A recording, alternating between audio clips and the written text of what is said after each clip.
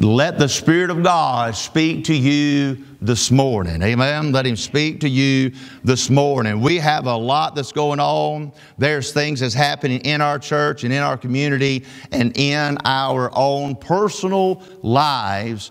But the greatest thing that I am seeing that's unfolding before us again is deception. It is deception. Many are deceiving themselves deceiving themselves. Not, we want to blame the devil. We want to give him credit all too much. But my dear friend, there are many in this room right here, you're deceiving your own self.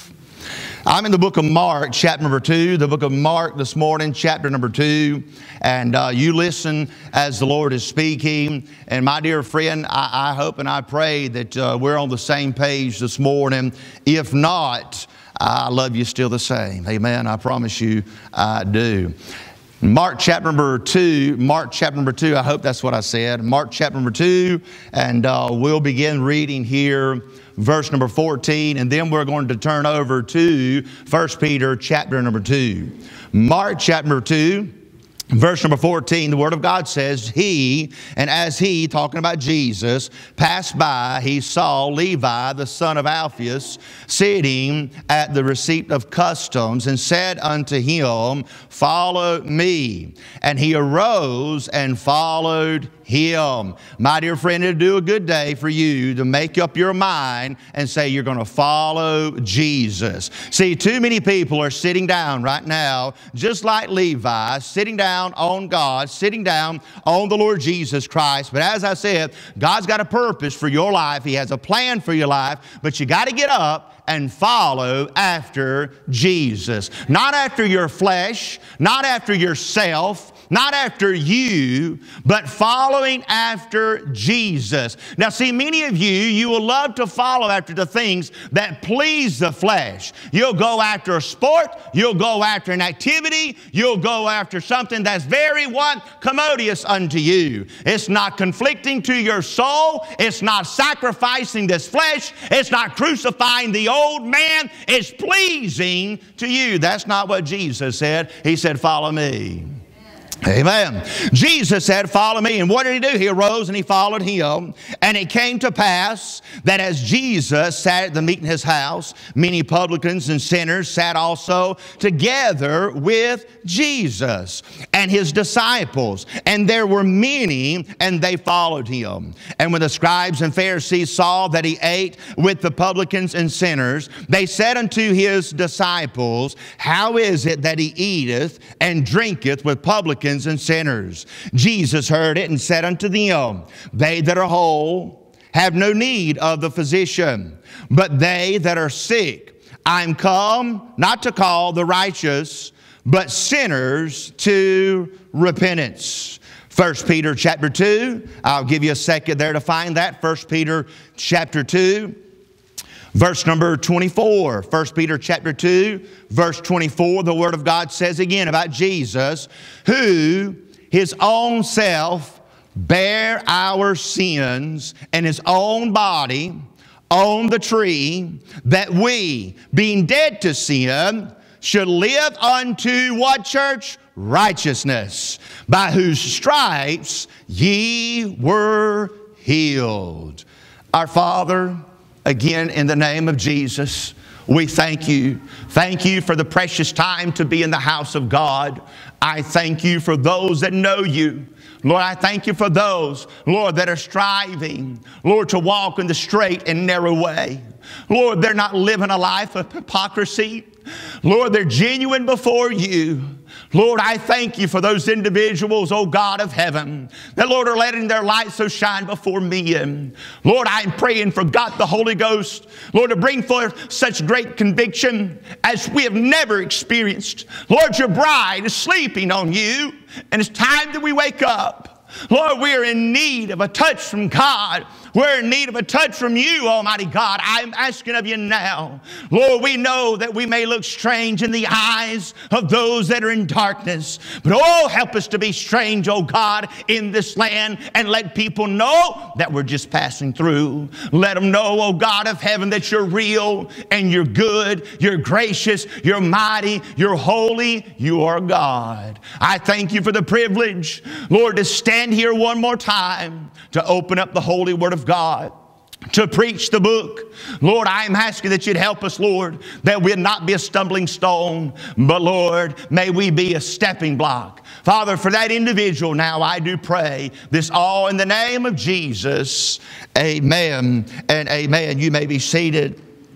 Church, we see here in the text that the scribes, in Mark chapter 2, rather, in Mark chapter 2, we see the scribes and the Pharisees, uh, they were there in the room where Jesus was in the room. And I thank God I can say Jesus is in the room. Amen. I want to say this here, the scribes, they went over to the disciples and they said, Hey, why is Jesus sitting there with those sinners and talking to those publicans and so forth? My dear friend, isn't that the same way? People people don't want to go straight to the source. They want to talk behind someone's back. Amen. Why not you go to the source, dear friend? If you got a problem with somebody, address that individual. But we see the Pharisees and who they are. The Pharisees were individuals who had a very hard heart. They were hard hearted individuals. They were people that had a form of godliness but denied the power thereof. Matter of fact, their hearts were so hard,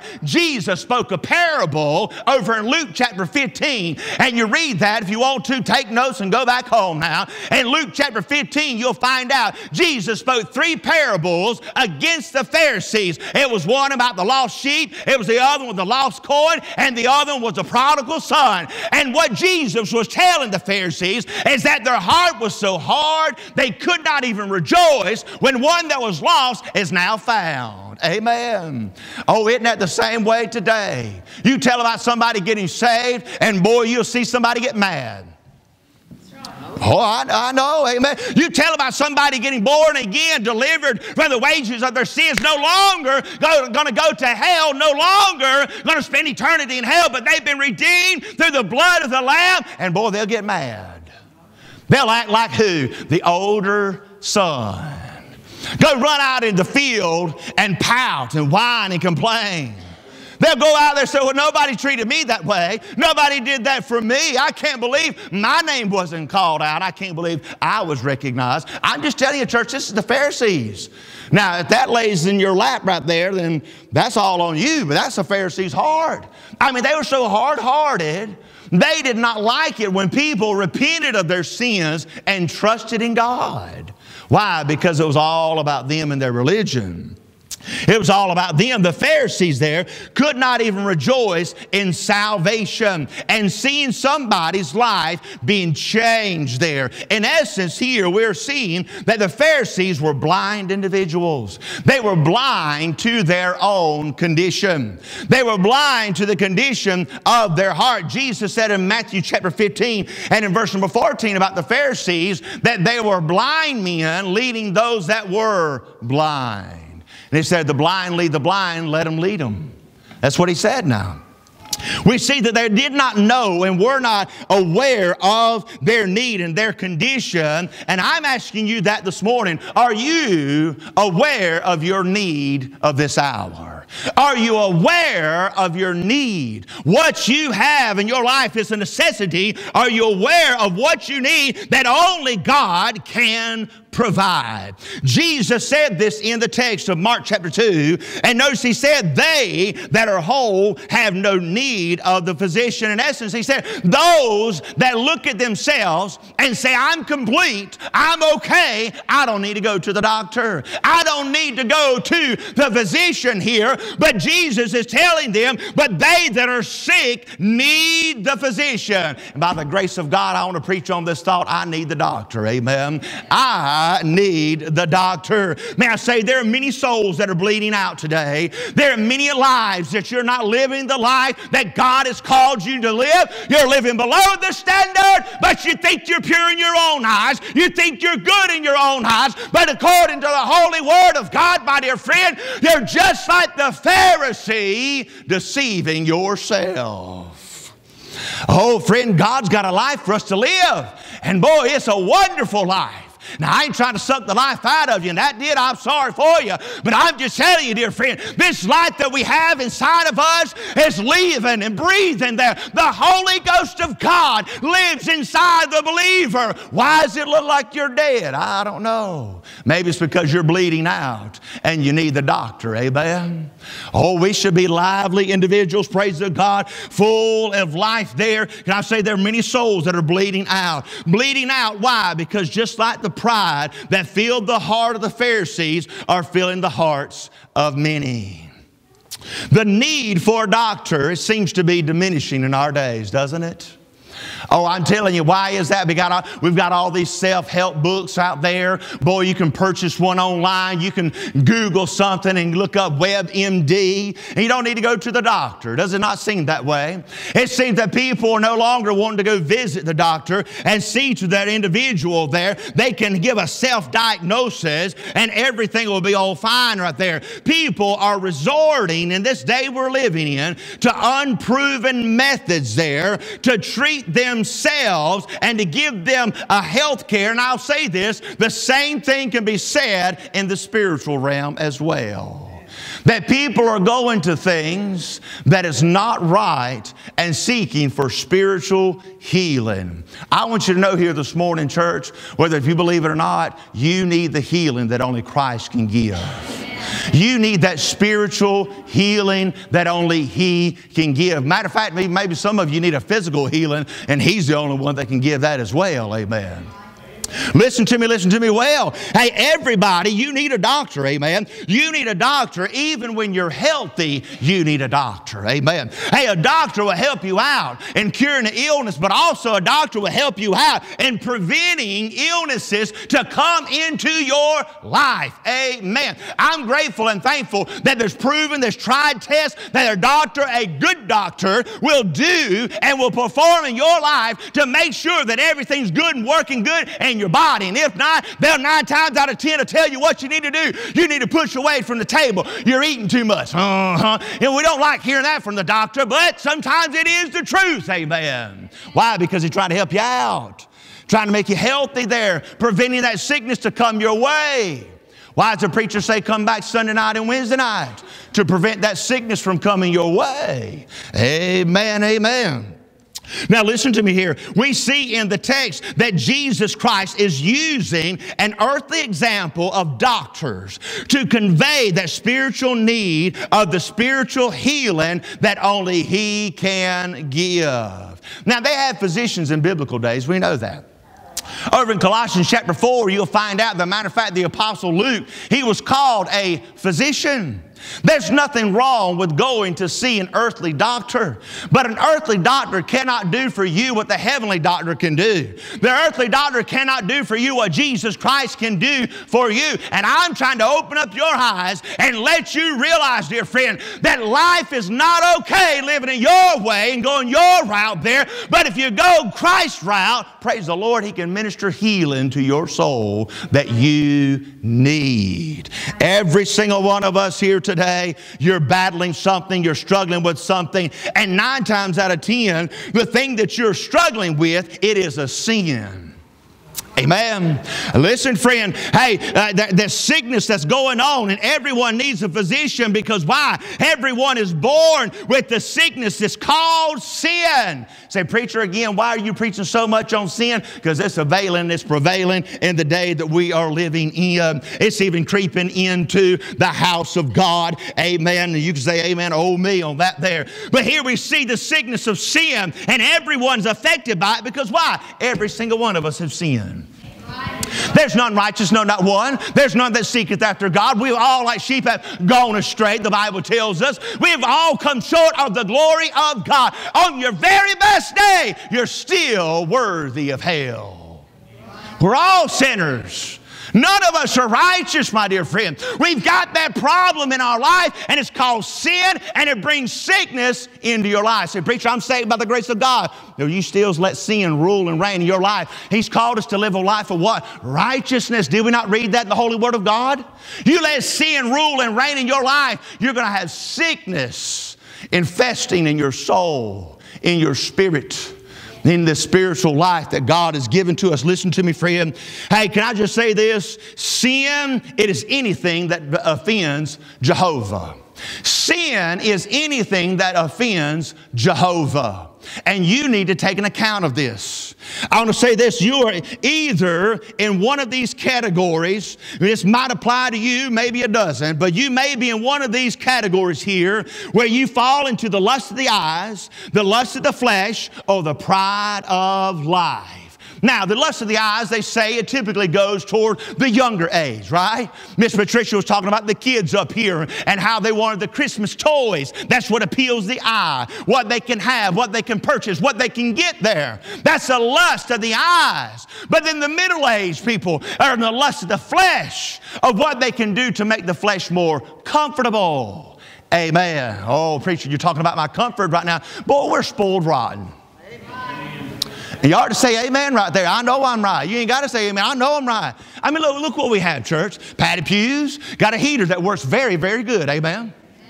When we leave, you got very good cars to go out and drive in. When you go home, you don't have to worry about nobody coming after you, taking your life, going to kill you. You didn't have to wake up this morning. Do you know that there's missionaries out there in the field right now? That Brother Barney, they're facing death in the eyes. They're looking at death. Why? Not because they're opposing uh, communism, it's because they're preaching Christ. I'm telling you, we're spoiled rotten. We think we know about this thing of living for God. We're, we got a rude awakening, church. Oh, this lust of the flesh make me comfortable, make me appealing right there, make me feel like I'm at a show, preacher. Amen. Amen. Lust of the eyes, lust of the flesh, and the pride of life. And now they typically say those in the golden years are in the pride of life. And I think there are even some in the middle that's in the pride of life, but that's all right. Because why? You're not going to tell me anything that's going to change me. I like the way I live. I like the way I'm living right now. I like what I'm doing. You're not going to change me. I'm telling you, dear friend, that's sin. That sin in the eyes of God when you're full of pride. I want to say this as well. There's a lie that the devil is spreading out there and is telling saved folk are holding, they're, they're believing this lie the devil is saying. He's saying you don't have to name sin. People know that they're wrong. People know that they're sinners. They just need encouragement. Preacher, well, I'm trying to encourage you. Whatever sin that you've committed and offended the thrice holy God, He'll forgive you of it if you repent. Amen. Amen. And I'm just going to tell you, when God forgives you, dear friend, that burden is lifted. Hallelujah. That weight is gone, praise God. And you need the great physician to minister healing to your soul. Amen. Listen to me now. Sin is still sin, and God still calls it sin, and we're going to side with Him over you any day. Hey, over 2,000 years ago, if He called it sin, you should be calling it sin. Lying is still sin. Amen. Say, preacher, I don't lie. I just tell a white lie. Well, white lie, black lie, green lie, red lie, whatever you want to label it, a lie's a lie, friend. Amen, amen. Oh, I'm just telling you, you shouldn't be lying. God forbid you lie to your boss. Hmm. Say, preacher, ever happened to you? Well, they didn't come out and tell me, but the truth always comes out. Amen. amen.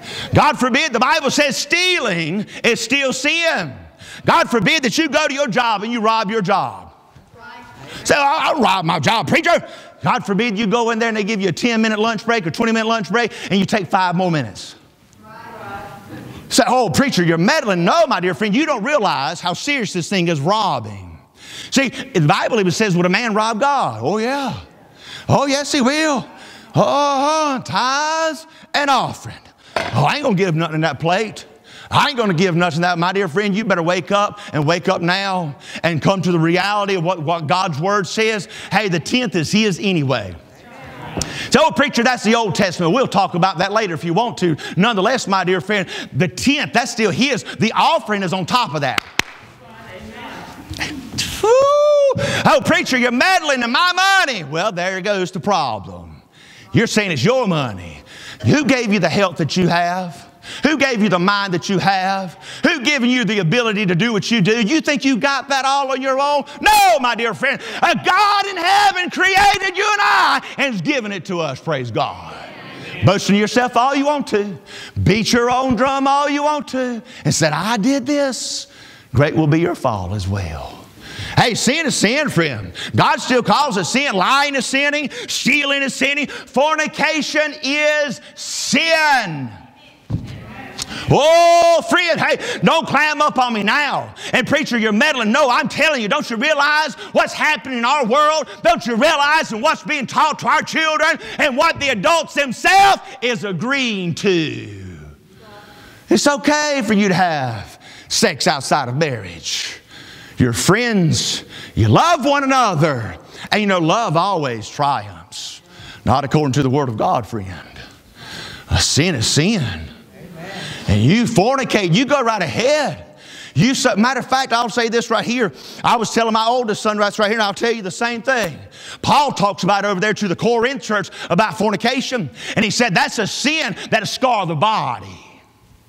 Oh, it's a sin that'll scar the body, and you'll live with. What are you saying? See, there's some people in this room you've never tasted how sweet apples are because you don't like them. The preacher, it's hard to hard believe. Well, maybe it is far hard to believe. But anyway, some of you don't like it. You don't know what it tastes like. But if you've ever tasted an apple, you'll never forget it. See, when you cross over that line into sexual sin, you've tasted that sin and you'll never forget it. It's sin. You need to stay away from it. I, am telling you this right here. It's my heart's prayer. It should be your heart's prayer for our kids and our adults that are single, that don't have no bride, that don't have, hey, the marriage bed is undefiled. Praise God. The Bible tells us that. But whoremongers shall be judged in the sight of God. Did he not say that? He said that. Our prayer should be what? Our children come down the aisle. They kept themselves clean and pure before the God of glory. Hallelujah. And unite together in holy matrimony. Amen. Fornication is wrong. I didn't say it was wrong. God said it was wrong. It's sin. I say, preacher, it happens. You are to teach them how to be safe in doing that. Where, where's the logic in that, friend? There is no such thing as safe sex. See, it's something that man puts a band aid on the sickness of sin. Oh, oh, yes. Man puts a band aid on something that's gushing out, it's bloody, it's gruesome. This thing of sin, you can't put a band aid on it. You need healing from it. Oh, I'm trying to, tell, I'm trying to help you out, I promise you. There's that thing of lust, this thing of pride, this thing of drinking that is prevailing in the day and age that we live in. Say, preacher, why are you naming sin sin? People need to know that it's wrong. News media ain't going to say it. Huh? No, sir. They'll lose their ratings, won't they? Uh-huh. Politician ain't going to say it. They'll lose a vote. Say, preacher, why are you going to say it? You'll lose your job. Well, by the grace of God, I'll still be in his favor. Amen. Say, preacher, you're being boastful, you're bragging and so forth. Call it whatever you may, friend. If God says this is what it is, I'm siding with him, and I hope that you're on the same boat with me. Hey, the Bible goes on and tells us now that it's sin of this thing of intoxication. Boy, how you lose your mind and you forget the law. You forget to what? To do what is right. That's what the Bible says about drinking. And all those casual drinkers, it's still sin, friend. It's still sin. I'm going to go on from this right here because why? I believe that nail's been nailed down. We'll come back if it pokes his head back up. Hey, it's still sin not to love God. Amen. That's the first commandment you are to obey. Love God with what? All your heart. Love God, not half heartedly. And see, you know this by now, adult. Don't look at me like you're strange. Don't look at me, boy, preacher, that's a new gate to me. I ain't never seen that. You have. You know what it means to be fully committed or to be half hearted. See, some of you are halfway in right now. You're already looking to get out. Some of you right now say, Preacher, get to your very last point. I'm ready to go home. You're halfway in this service. I know what that looks like, and it's okay. I'm glad you're just still hanging on, amen. I want you to get fully in here, praise God. I still want you to see exactly what I'm seeing that those that commit sin and those that have been infected by sin need the healing that Jesus Christ can only give. Now, thank God that He ministers healing. Can I go a little step further on this right here, loving God? If you don't love God, that's still sin. If you put anything else before God, that is sin. That's idolatry, amen. Idolatry, amen. Putting anything before God. Say, preacher, what are you saying? If you put anything before doing and obeying the Word of God, that is your God. Amen. The Bible says us for us to love our neighbors, right? Not loving your neighbor is a sin. Preacher, don't you understand who lives beside me? They're so filthy, they're so nasty, they're so vile, they're so vulgar. I mean, you're telling me to love them? I didn't say that. Jesus did. Amen. Now, that's your neighbor in your neighborhood, but there's the neighbor as well on your pew. Amen. Say, preacher, you believe there's people in the church right here that hate each other? They might not say it out loud, but they live it. Say, preacher, you're meddling. No, I'm telling the truth. You come into the house of God like you're in love with everybody, but then you leave, and boy, you act like you hate everybody. Oh, I'm t- it's high time that we awaken out of our sleep. It's high time to people and say, Preacher, that offended me. Well, good. That rock hit you good then. Amen. If that pricked your heart, my dear friend, I want you to know you can be forgiven. We're to love each other, praise God. Do you not realize where we're going to spend eternity together with every single person that's saved by the grace of God? And if you've got any hatred, if you've got any hatred towards your brother, how, God forbid, First John said, you don't love God. That's what he said now. Amen. We're to be loving each other. Oh boy, I got to hurry up. I ain't even got off the first page. I'm letting y'all know now. There's two more to go. Said, Preacher, you got to let your people go. My dear friend, I love you, praise the Lord. I'm just telling you now, Jesus can grant the healing. All of what I just told you there, all of those sins. And oh, we'll even say this. We've got some younger ones in here. The Bible does say to what? Honor thy father and thy mother. Amen. Oh, I, I, we got some teachers in here as well, don't we? Oh, yes, we do. Love it. Hallelujah. Oh, I'm telling you now, we got the Good News Club. and We do it over there in Sherall. I hope you'll join in with us if you're able to do that. But nonetheless, we're over there. We see a little bit of what y'all taste for eight hours. We get it. We get it now.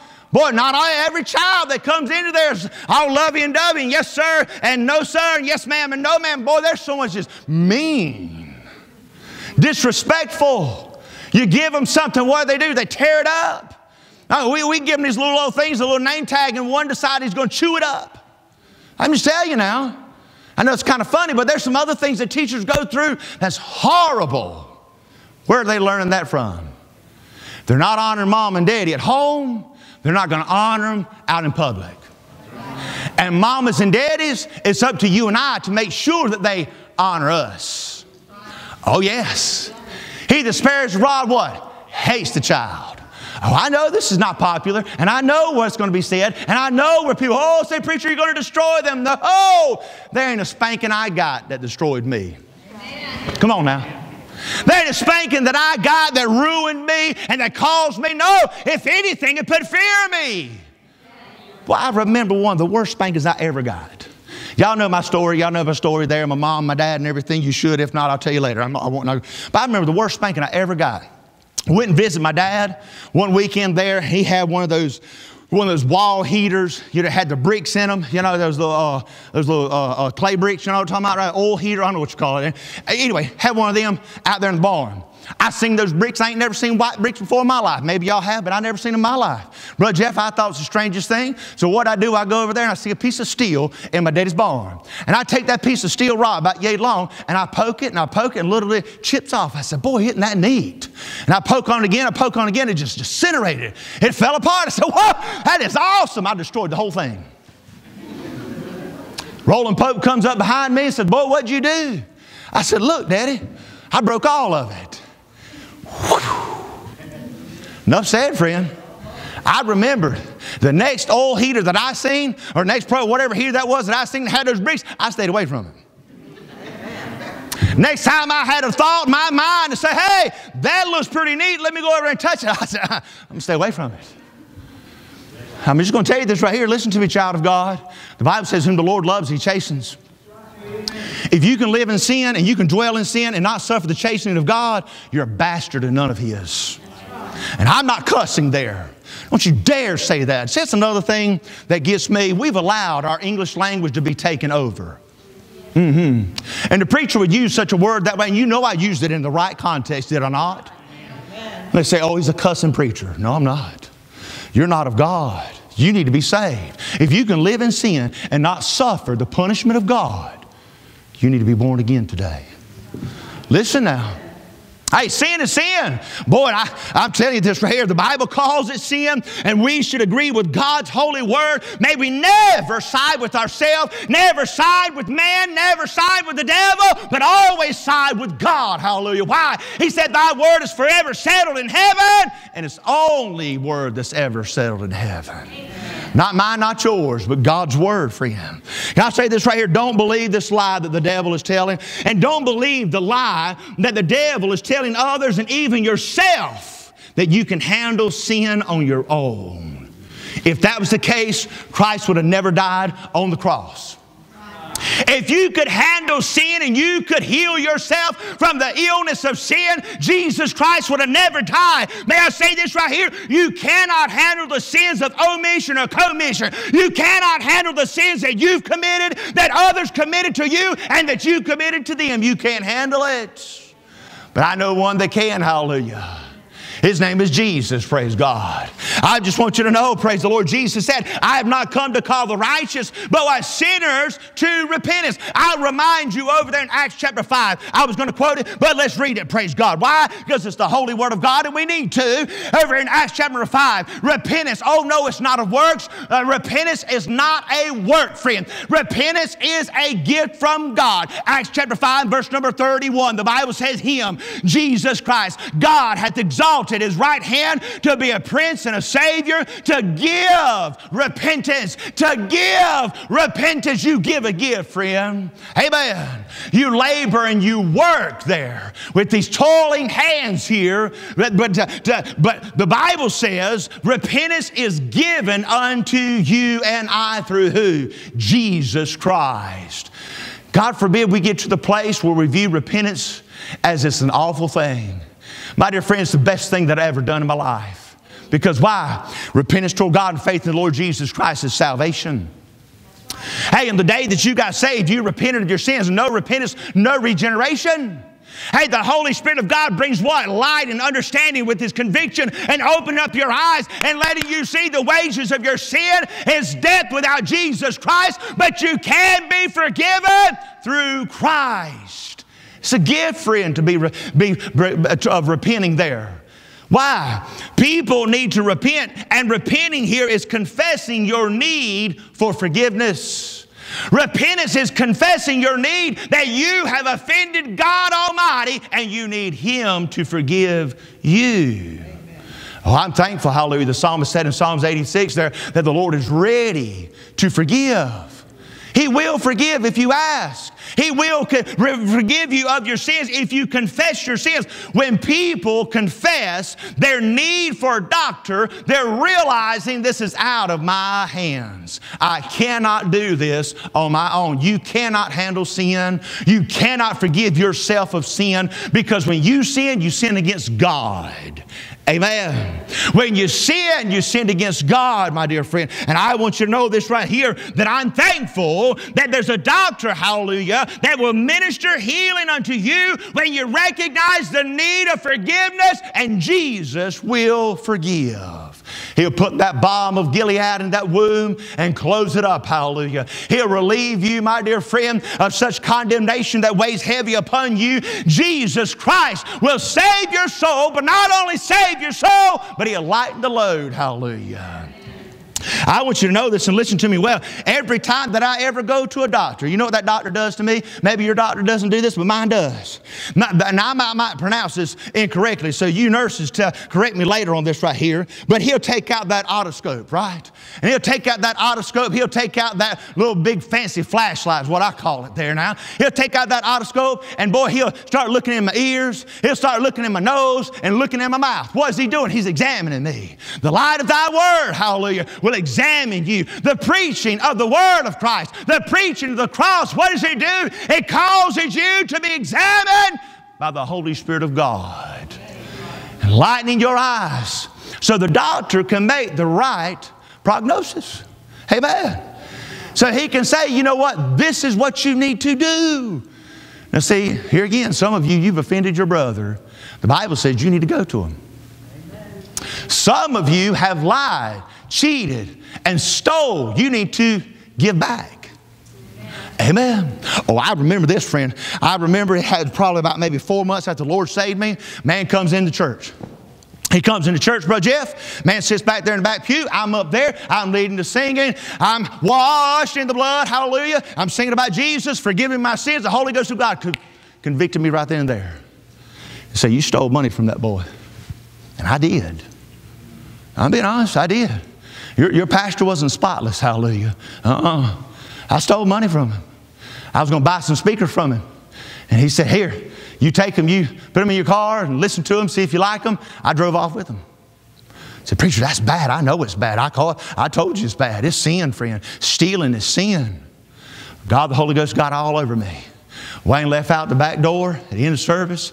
In church, I had to go. I had to go. If not, the peace of God would have been taken away from me. Say, Preacher, you believe that? I sure do. You're not going to live in sin as a child of God. Boy went in there and I told him, I said, Wayne, God saved me, forgave me my sins. He made me a new individual. I know I did you wrong. Here's $50. I'll give you the rest 25 tomorrow. And I did. I'm just telling you this right here, dear friend. God Almighty, He wants to set us free. Set us free of that sins.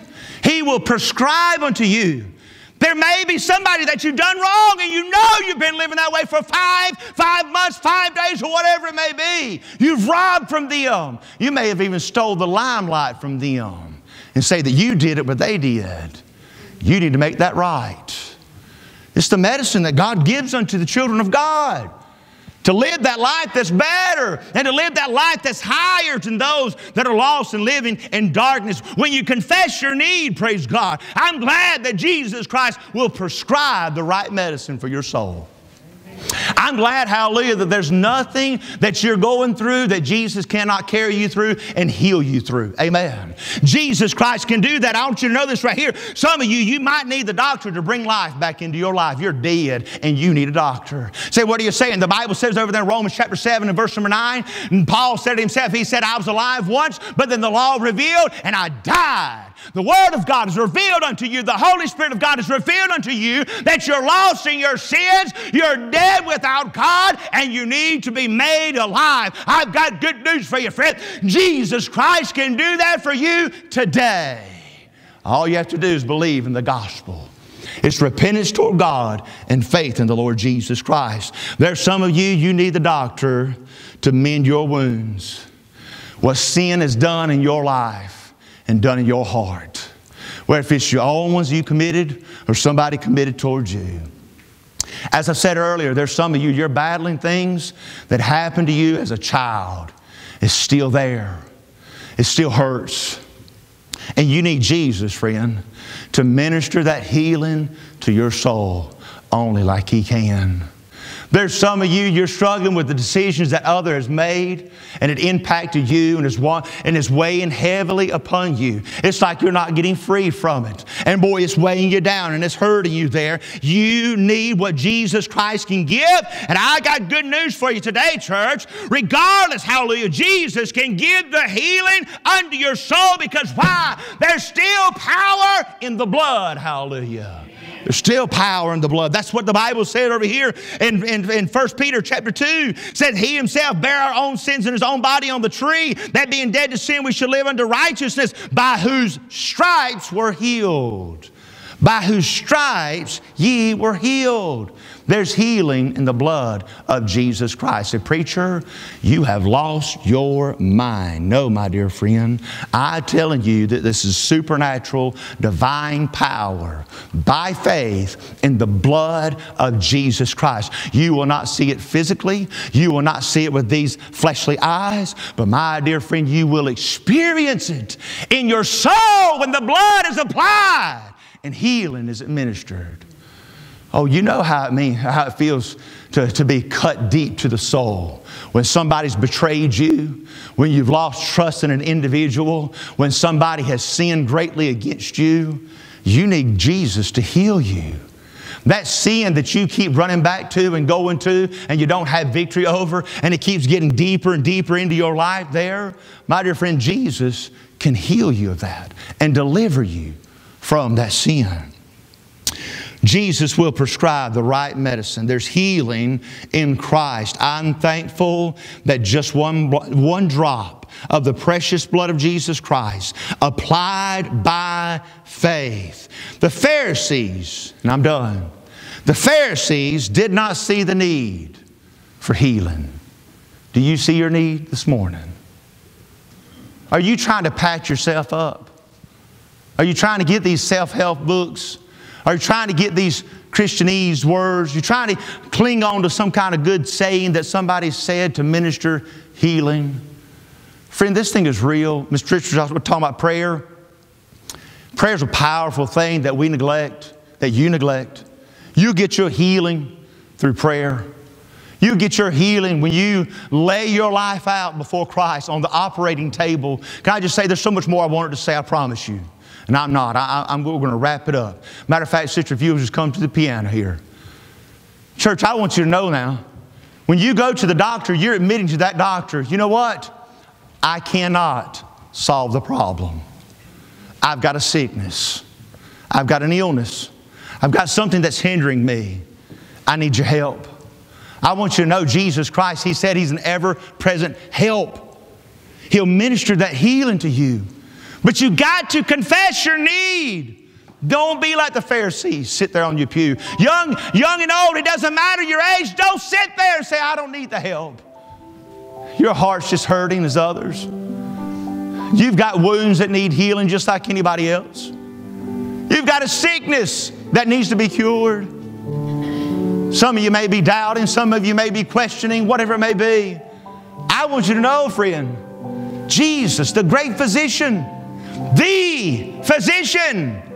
Oh, hallelujah. I hope you've seen that in the text there, and I thank God that He brought it back to remembrance there. Notice He said in verse number 17, said, They that are whole and have no need of the physician, not a physician, but the physician. There's only one great physician, and it's Jesus.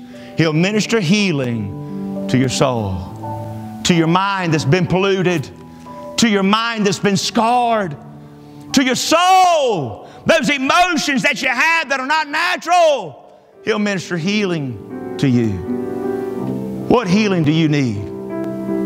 Life brought back into you through salvation? What healing do you need? Sin forgiven? Victory over? What healing do you need to forgive a loved one? To forgive a friend? You'll find it in Jesus and only in Jesus. Father, in the name of Christ, the invitation is here before your people. My God, you see us. Lord, you know us. The doctors have to shine the light, Lord, all through us and inspect us, but the eyes of the Lord are everywhere. And you see us, Almighty God. Lord, you know. Lord, there's people in our midst Lord, they've been hurt by those that's gone on by the grave. Lord, they're still hurting on the inside and they need healing. Lord, they, there, there are people, oh Lord, that they don't even know if they're alive and they've done things to them and they need healing. Lord, there's people right here in the house of God that need the precious blood of Jesus Christ applied upon them. Thank you, Lord Jesus, that we can live the life victoriously. God, grant that healing today. Grant that curing, the cleansing. And we'll praise you for what you do. In Jesus' name. Amen. Will you stand to your feet, please?